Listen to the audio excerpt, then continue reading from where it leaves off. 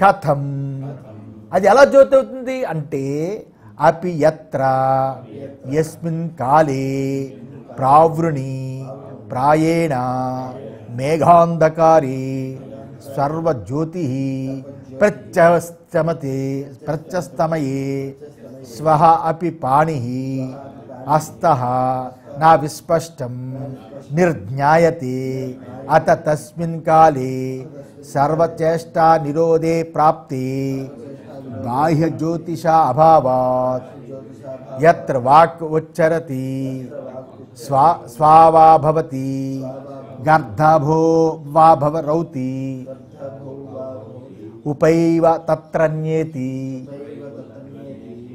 మనిషి శబ్దం అనే జ్యోతి చేత అనుగ్రహించబడుతున్నవాడే వ్యవహారం నిర్వర్తిస్తాడు. అందువల్ల శబ్దము ప్రకాశింపచేసేది అనేది అందరికీ తెలిసినది అని చెప్పుకున్నాం.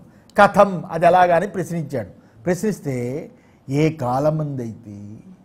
అంటే ఎత్ర యస్మిన్ కాలి అన్నాడు. అంటే అర్థం ఏంటి ప్రావుషి ప్రాయేణ మేఘాంధకారి అని అర్థం ఇచ్చాడు.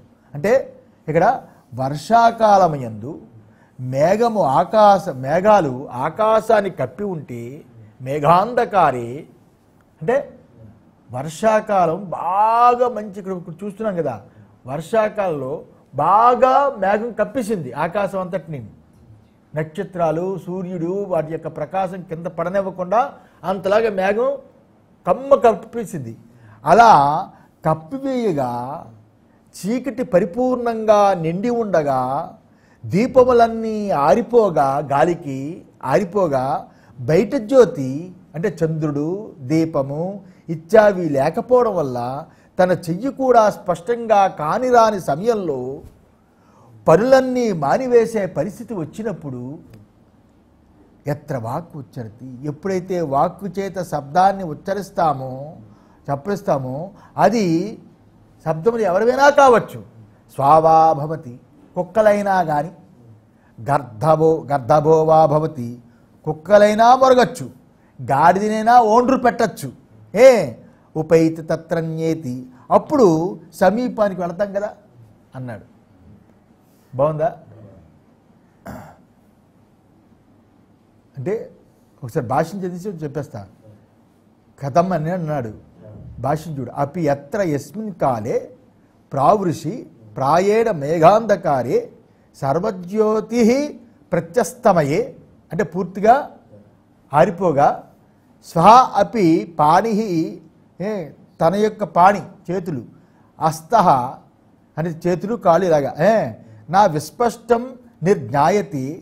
ఏ అక్కడ ఏది కూడా ఆ సమయంలో ఏది కూడా తెలియనప్పుడు అత తస్మిన్ కాలే సర్వచేష్ట నిరోధ ప్రాప్తే బాహ్య జ్యోతిష అభావాత్ బయటగా వెలుతురు కూడా చూపించే ఏవి లేకపోవడం వల్ల ఎత్ర వాక్కు ఉచ్చరతి ఎప్పుడైతే వాక్కు శబ్దము ఉచ్చరించబడుతుందో ఆ శబ్దం ఎవరిదైనా కానీ స్వావా భవతి గర్ధవోవా భవతి ఉపైత తత్ర నేతి అన్నాడు.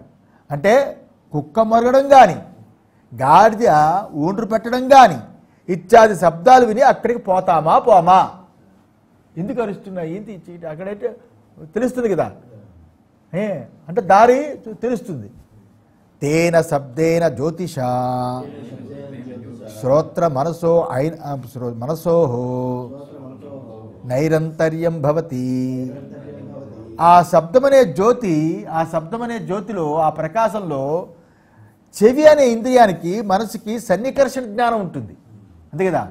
చెవికి మనసుకి సన్నికర్ష జ్ఞానం ఉంటుంది అన్నాడు. అందువల్ల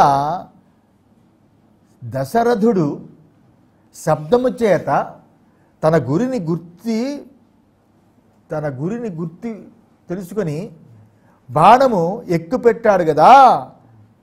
పురాణంలో కనిపిస్తుంది శబ్దం అనేది శ్రోత్రేంద్రియానికి మనస్సుకి నైరంతర్యం ఉంటుంది. రెండింటికి సంబంధం ఉంటుంది. మామూలు ఇంద్రియాలంటికి ఇంద్రియ సంబంధం ఉంటుంది. దాన్ని ఇంద్రియ విషయ సన్నికర్షణ.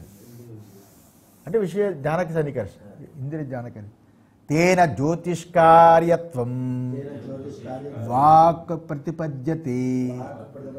ఆ విధంగా శబ్దము జ్యోతి చేసే పని చేస్తుంది.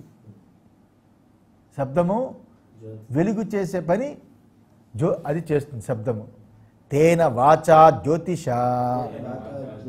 ఉపన్యేచ్చేవా ఉపగచ్చేవా తత్ర సంహిత సం- సన్నిహితో భవతీతి ఇత్యర్థ. ఆ శబ్దమనే ఆ జ్యోతి కారణంగా ఆ దారి ఎందు పోతాం. కదా? అంత కమ్మని చీ- ఆ కమ్మిసే చీకటిలో ఆ శబ్దాన్ని విని ఆ దారికి వెళతాం కదా అడుగులేస్తాం. హే అలా వెళ్ళి గమ్యాన్ని చేరిపోతాము అన్నాడు. గమ్యాన్ని చేరిపోతాం. తత్రచ కర్మ కురితే విపల్యేతి. ఆ గమ్యాన్ని చేరి అక్కడున్న పని ఏది ఉందో ముంతో చెంబో గ్లాసు ఏదో ఎత్తుకొని తెచ్చేసుకుంటాం. ఏ పక్కన కూజ ఉంది పర్లేదు గ్లాస్ దొరికి నీళ్ళు తాగుతూ పడుకుంటా అలాగా. అంతే కదా? అది. తత్ర వాగ్జ్యోతిషు. గ్రహణం గంధాదీనా ఉపలక్షణార్థం. ఈ నాలుగు పర్యాయములు ఎందు నాలుగు పర్యాయాలు అయ్యాయి ఆదిత్యుడు చంద్రుడు అగ్ని చ- ఇది వాక్కు ఈ నాలుగు పర్యాయములందు శృతి చెప్పిన వాక్ అనే శబ్దం అనే జ్యోతి యందు నా ఇంక మిగతా అన్ని తీసుకోవాలి వాక్ అనే శబ్దం చెప్పాడు కాబట్టి గంధము రసము రూపము ఇత్యాది నాలుగు విషయాలు కూడా అంతర్గతం. అవి కూడా జ్యోతులే. కదా? అని తీసుకోవాలి అని శంకరాచార్య వారు చెప్పారు. గంధాదిభీరపి గ్రాణాదిషు అనుగృహీతేషు ప్రవృత్తి నివృత్యాదయో భవంతి ఎందుకంటే గంధము రసము ఇత్యాది విషయాల చేత ముక్కు గంధము రసము నాలుక మొదలైన ఇంద్రియాలు ప్రకాశింపచే చేసిపడినప్పుడు అనుకూల విషయంలో అవి ప్రవృత్తి మరి ప్రతికూల విషయంలో నివృత్తి అవుతుంది. కదా? మంచి చీకటిగా అది ఉంది వెళ్తున్నప్పుడు. కదా? బాత్రూమ్కి వెళ్ళాలి. వంటగదికి వెళ్తావా? అక్కడ గుమ్మగుమ్మ సిమి స్వీట్ వాసనలు వేస్తాయి. బాత్రూమ్కి వెళ్ళాలి జాగ్రత్తగా అక్కడికి వెళ్తాం. చిన్నదేదో అప్పుడు యూరిన్ ఇలాంటి వాసన వేస్తే ఆ బాత్రూమ్ దగ్గర పడ్డ వెళ్తాం కదా? అరకు కూడా వెళ్ళిపోతుంది కదా? అది. తేన తైరపి అనుగ్రహో భవతి కార్యకరణ సంఘాతస్య. ఆ విధంగా గంధాదుల చేత ముక్కు మొదలైనవి ప్రకాశింప చెయ్యబడి ఉండడం చేత దేహేంద్రి సంఘాతముకు గంధాదులచే కూడా ప్రకాశము కలుగుతున్నది అని చెప్పాడు. ఇక్కడ వాక్కు చేత గంధాదులు కూడా పేర్కొనబడింది అని అర్థం. వాక్ అనే శబ్దం చెప్పామంటే అది అది చెప్పింది ఏదైతే ఉందో మిగతా అన్నిటికీ సంబంధం అన్నమాట. ఏ? అటువంటి వాటి వాటి విషయాల చేత గ్రాణాది ఇతర ఇంద్రియాలు కూడా శ్రోత్రింద్రియాల శ్రోత్రింద్రియంలాగే వివేక కారణములై ఉన్నాయి. అవి ప్రవృత్తి నివృత్తి నిమిత్తం అవుతున్నాయి. కనుక జ్ఞానాదులు కూడా జ్యోతిష్యుని జ్యోతులనే చెప్పబడింది. అందులో శబ్దము అని చెప్పడం చేత వాక్యం చెప్పడం చేత మిగతా దానికి ఉపలక్షణం. ఉపలక్షణం. ఏవమేవ ఏవమేవా? ఏతద్యాజ్ఞవల్క్య ఓ యాజ్ఞవల్క్య నీవు చెప్పినది శబ్దాదుని ప్రకాశం అని ఏదైతే చెప్పావో అది నిజమే అన్నాడు.